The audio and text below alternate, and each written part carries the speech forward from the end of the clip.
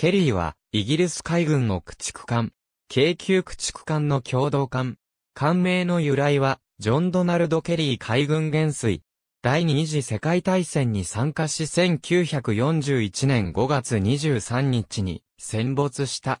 ケリーは、タインカハン・ヘブバーンのホーソン・レスリー社で1937年8月26日に寄港、1938年10月25日に浸水し1939年8月23日に収益した。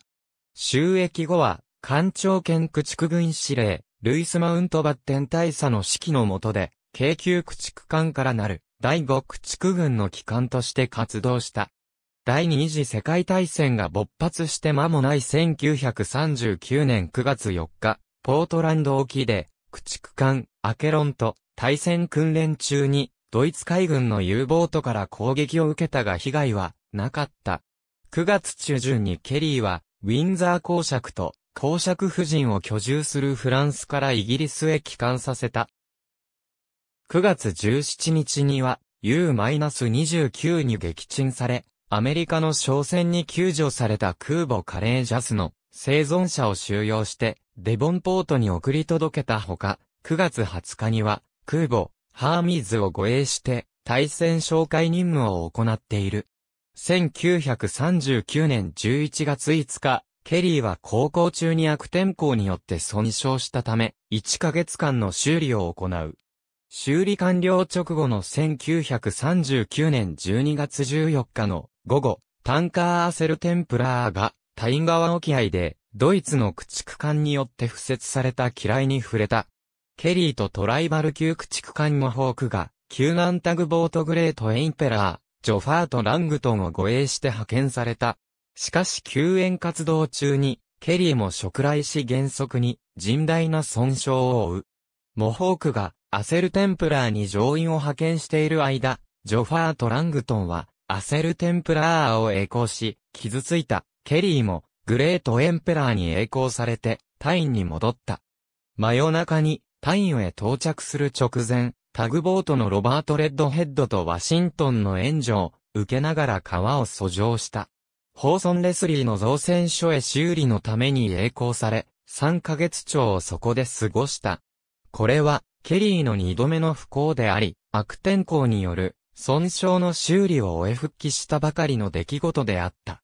1940年2月28日に修理が完了し復帰するが、それから間もない3月8日に駆逐艦グルカと衝突しまたもや損傷。艦隊に30フィートの亀裂を生じたケリーは3月16日に修理のためブラックウォールへ到着しその後6週間をドックで過ごした。4月25日に修理が完了し、翌日には第5駆逐軍へ復帰するためにスカパフローへ向かった。飛来後にタイに戻ったケリー。1940年5月、ケリーはナムソスからの撤退作戦に参加する。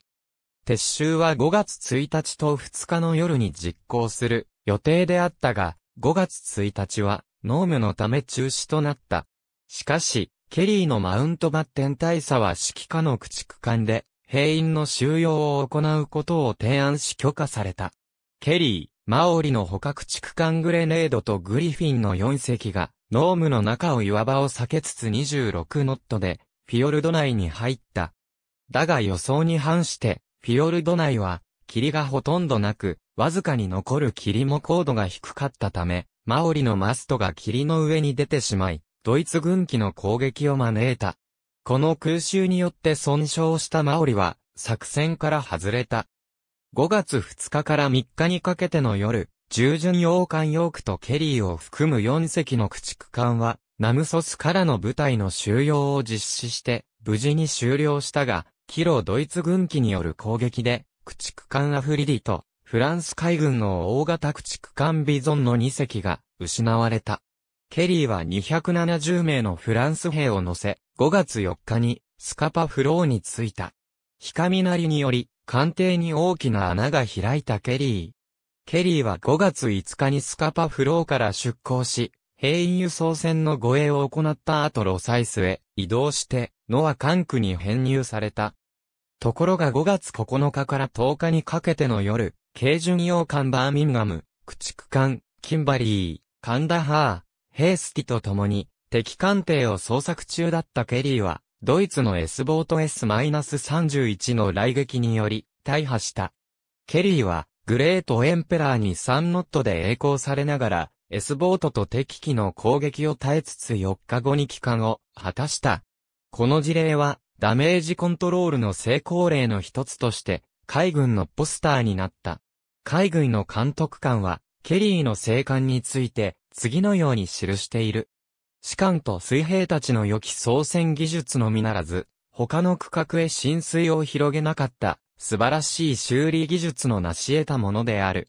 一本の不完全なリベットが彼女の命取りになっていたかもしれない。Not only by the good seamanship of the officers, and men but also on account of the excellent workmanship which ensured the water tightness watertightness of the other compartments, a single defective rivet might have finished her. 5月13日にヘブバーンの造船所で長期修理に入ったケリーは1940年12月に修理が完了するまで復帰できなかった。ケリーの不幸は1940年の1年間でわずかに23日しか活動できなかったありさまだった。1940年5月にケリーのペナントナンバーは G01 へ変更されている。ケリーは1940年12月に第5駆逐軍へ復帰した。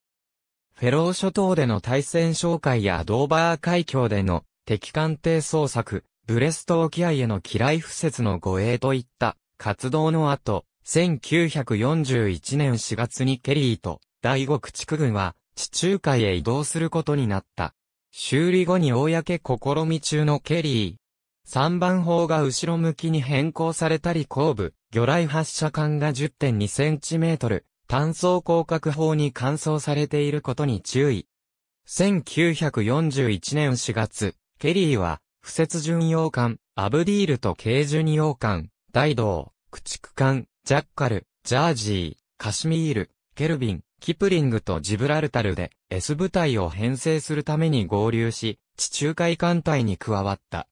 ケリーは4月28日にマルタへ到着し、第5駆逐軍の領艦と共に、軽部隊として、北アフリカへ向かう敵戦弾攻撃に加わった。5月1日に、軽巡洋艦、グロスターや5隻の駆逐艦と共に、敵戦弾の攻撃に向かうが、戦弾は捕捉できずに終わった。続いてケリーは、タイガー作戦に参加した。これは、地中海で複数の戦弾を運行するというものであった。5月8日、マルタ航行で、ジャージーが、食来沈没し艦隊が航行を塞いでしまったため、駆逐軍はマルタを離れて、ジブラルタルへ向かい、エージャックス、ダイドー、オライオン、パースと共に、エジプトからマルタへの戦乱護衛任務に参加した。この作戦中の5月10日、ケリーと駆逐艦ケルビン、ジャッカルの3隻は、ベンガジ砲撃を行った。ジブラルタルにおけるケリー。1941年4月、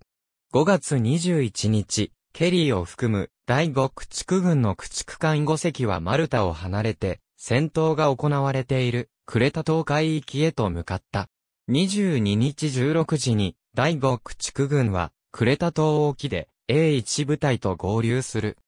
第5駆逐軍は2つに分けられ、ケルビンとジャッカルは撃沈された軽巡洋艦グロスターの生存者の救助をケリーは、カシミール、キップリングと共に同様に撃沈された、軽巡洋艦フィジーの生存者救助に向かった。結局救援活動は時期を逸していたために、第5駆逐軍は再度合流の上でキッサモとカニア湾の紹介を命じられた。そのうち、ケルビンとジャッカルの2隻は、カニア湾で目撃された正体不明の光を調査するために別行動をとることになった。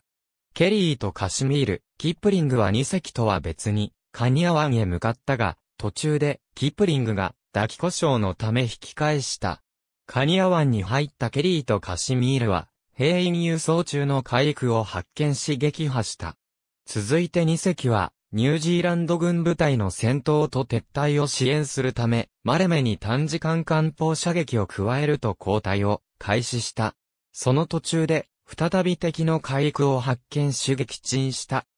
夜が明けた5月23日7時55分、交代中のケリーとカシミール、そして修理が終わり2隻に合流するべく、約6マイル後方で追っていた、キプリングの3隻は、クレタ島、南方13マイル地点で24機の1087、旧高化爆撃機による攻撃を受けた。まず第3波の攻撃で、カシミールの艦隊中央部に爆弾一発が命中し、真、部達に折れたカシミールはわずか2分で沈没した。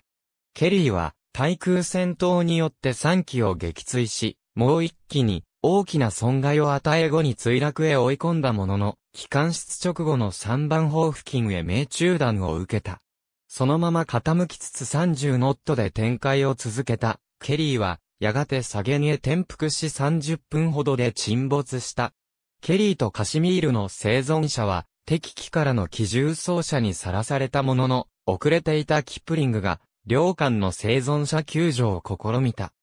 空襲下での救助活動は難航し、キプリングが転覆した。ケリーの艦隊に接触し大きな損傷を負ったほか、救助活動のためキプリングから降ろされていた。内科艇が爆弾を回避しようと増速した。キプリングに巻き込まれてしまい、ケリーとキプリングの副長が溺死するなどの被害が出た。だが損傷のため22ノットしか速力を出せない中で40波に及ぶ。激しい空襲を回避しながら救助活動を継続したキプリングによりマウントバッテン大佐を含む279名が救助された。2隻の生存者を乗せたキプリングは一連の活動によって深刻な燃料不足に陥っており、海域からの離脱に成功したもののアレキサンドリアの沖合でついに燃料切れとなった。しかし救援に来た旧設毛管プロテクターによって15トンの燃料が補給されたことでキプリングはなんとかアレキサンドリアへ帰島できた。生存者を乗せて帰還したキプリングは在泊艦艇からの歓迎を受けたが、損傷のため以降4週間活動することができなかった。